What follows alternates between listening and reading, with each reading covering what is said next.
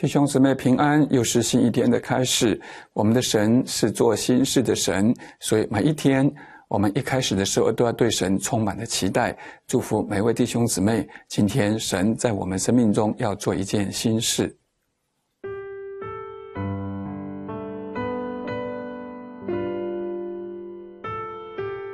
以赛亚书四十三章十四到二十八节。耶和华你们的救赎主以色列的圣者如此说：因你们的缘故，我已经打发人到巴比伦去，并且我要使加勒底人如逃民，都坐自己喜乐的船下来。我是耶和华你们的圣者，是创造以色列的，是你们的君王。耶和华在沧海中开道，在大水中开路，使车辆、马匹、军兵、勇士都出来，一同躺下，不再起来。他们灭没，好像熄灭的灯火。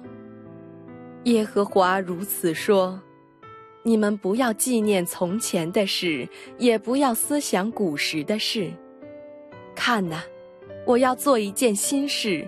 如今要发现，你们岂不知道吗？我必在旷野开道路，在沙漠开江河。野地的走兽必尊重我，野狗和鸵鸟也必如此，因我使旷野有水，使沙漠有河，好赐给我的百姓、我的选民喝。这百姓是我为自己所造的。好述说我的美德，雅各啊，你并没有求告我；以色列啊，你倒厌烦我。你没有将你的羊带来给我做燔祭，也没有用祭物尊敬我。我没有因供物使你服劳，也没有因乳香使你厌烦。你没有用银子为我买菖蒲。也没有用祭物的脂油使我饱足，倒使我因你的罪恶服劳，使我因你的罪孽厌烦。唯有我为自己的缘故涂抹你的过犯，我也不纪念你的罪恶。你要提醒我，你我可以一同辩论，你可以将你的理陈明，自显为义。你的始祖犯罪，你的师傅违背我，所以我要辱没圣所的首领，使雅各成为咒诅，使以色列成为辱骂。第十九节，看呐，我要做一件新事，如今要发现，你们岂不知道吗？我必在旷野开道路，在沙漠开江河。耶和华是以色列的神，是创造以色列的救赎主，是大君王。那么他这位大君王，这位救赎主是在沧海中开道路。所以我们看到出埃及的时候过红海，埃及的军兵都倒下了。那么但是这一切都过去了。那么神现在要继续的做新事，所以不仅不是神机，不是只有停留在。红海边而已，其实过了红海，还是继续有神机在旷野、在沙漠啊开道路、开江河。所以神的救赎，并不是只有停在啊埃及的红海边，神的救赎是不断的往前走的。神继续的在旷野里开道路，在沙漠里开江河。其实我们啊跟随神的路上，我们知道。我们不是只有我们得救那一刻，神救赎了我们，然后之后我们的生命好像神就不再管了一样。其实我们都知道，神在我们的生命中是不断的做新事的。除了他救赎了我们以外，后来我们发现，在生命的每一个阶段，我们都看见神依然是与我们同在。所以，我们当我们在呃分享神的恩典的时候，我们不是。分享分享过去十年、过去二十年以前的恩典，当然那个恩典我们是真的是终身难忘，因为那真的就是得救的恩典。但是并不是只有停留在这里，在我们生命的路上还有很多的高高低低啊，我们都看见神在每一个关键的时刻当我们仰望他的时候，神继续在我们生命中不断的去做新事，所以我们对神要充满的期待。呃，当然了，每一次我们经历这些高山低谷的时候，并不会觉得更容易一点，但是每一次都是在我们很绝望、很辛苦的时候，突然之间，神为我们开了一个奇妙的道路。那么这样的经历是我们在服侍神、跟从主的路上。啊，一直不断循环的经历，不断重复的经历，所以啊，虽然每一次都不容易，但每一次也都有神的恩典。所以求主帮助我们，我们的生命充满了挑战啊，真的是一个挑战又接着一个挑战。呃，我们要仰望神，并且知道我们的神是不断的。为我们做新事的神，我想这是我们每一个人共同的经历，而且这些的这些的心事，也是成为我们见证神很重要的，呃一个过一个过程。你知道我们的生命的见证，呃不会只有得救见证啊，当然那是很重要的见证。所以每一次当我们在啊很很艰难当中，看到很绝望当中，我们经历了神为我们开道路啊，沙漠为我们开江河的时候。哎呀，我们都兴奋的不得了。那个时候，我们又可以再一次，在我们的生命故事里去诉说神的大能、神的慈爱。所以每一次遇到这些事情，我们这样告诉自己，就知道神又要做新事了。所以每一次你遇到一个新的挑战跟困难，我们要相信神，神又要做新事的。神每一次他做的新事，每一次都可以让我们生命中的见证。呃，什么是心事呢？就是每一次经历都不一样，呃，每一次你都是想象不到，所以心事就是不是在我们的预期当中的，不是在我们的掌握当中的。神每一次的做事好像都不一样，都不一样。所以，呃，不知道从哪一个角度来，但是我们总是期待神在我们生命中，但愿他是天天都来做心事。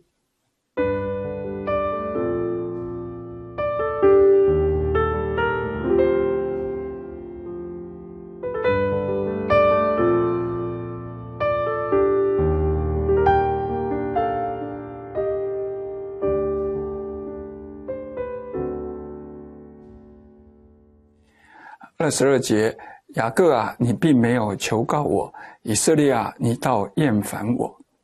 呃，不断神经历神拯救恩典的以色列啊，竟然啊忘记了求告神，在他们危机困苦的时候，呃，反而不仅没有求告神，他们还背逆神，还得罪神，还作恶，还让神厌烦。当然，结果雅各就成为了咒诅跟怒骂，那么付上了很高的代价。王国被掳，在万国中被抛来抛去。那么二十五节也提到，最后他为自己的缘故要涂抹过犯。那么他提醒我们：你可以跟神辩论。你看，神说我要跟你辩论，你怎么可能？怎么可以忘记了我的恩典？你怎么可以忘记求告我，反而去拜偶像、去悖逆呢？怎么这么容易忘记呢？所以神要跟他辩论。所以每次读到这里的时候，心里有很多的感叹，以色列经历这么多神的恩典，过红海旷野啊，然后经历这么多这么多的神迹启示，竟然他们到后面在富裕当中，在在强壮当中就忘记了神。他忘记神久了之后，再遇见困难的时候啊，竟然忘记求告神去拜偶像，这对我们是有很大的提醒的。求神帮助我们，呃。不要说我们不会忘记神，不要说我们如果我们在得意、在顺境中间渐渐的离开的神，当我们再一次遇见困难的时候，你可能都忘记祷告了，你可能还跟世上的人一样，跟很多的做生意的人的邻舍一样，就跑去拜偶像了。可是你记得，你曾经是神的儿女，你曾经是基督徒，很敬虔的基督徒，神怎么样当年带领度过多少的难关？可是你在安逸的日子里，你竟然忘记了祷告，甚至连聚会都不稳定了。结果又再一次遇到困难，像无头苍蝇一样走世界的道路。你知道神有多么的失望，神有多么的生气，神真的是觉得神有对你多么样的失望啊！所以求神帮助我们，我们这一生呢，不管是在顺境逆境，我们都要紧紧的跟随神。特别是那些我们是正在逆境中间，在很艰难、很困苦、很伤心的时候，哇！因着神的拯救，而我们遇见了耶稣，我们受洗了，然后我们就开始了，呃，步入到一个蒙福的光景里面。渐渐你也觉得现在一切都很好，也不再需要祷告，也不再委身教会，甚至你也都没有服侍了，你就过一个很好的日子。当然，你知道你早期是神的信主是神的恩典。可是，如果你这样的日子过下去，你一旦又在遇见一个困境的时候，你可能连祷告都忘记了。那个时候，就像以色列的光景。所以，我们要彼此鼓励。我们特别是这样的人，我们在顺境中一定不可以离开神。你还是要好好的聚会，你还要紧紧的跟随神，你还是要好好的抓住神的应许，每一天很好的 Q T，很好的祷告，很好的。不可以停止聚会，还是好好的在顺境中要抓住神，因为免得当我们再一次遇到人生风暴的时候，你连祷告你都忘记了，这是多么的可悲呢？所以以色列就是这样的光景，我们没有是容易的，每次我们遇到困境都是不容易的，所以求神帮助我们，一定不可以。在顺境的时候离开神，要好好聚会，好好读经，好好委身，好好服侍。那么我们一生都要靠主得胜。我们来祷告，天父，求你帮助那些在顺境中的基督徒，他们曾经是非常。